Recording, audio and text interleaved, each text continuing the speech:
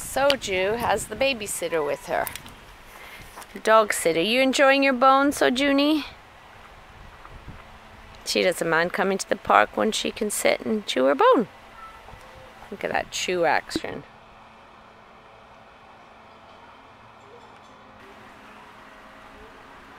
Sucking up all the marrow.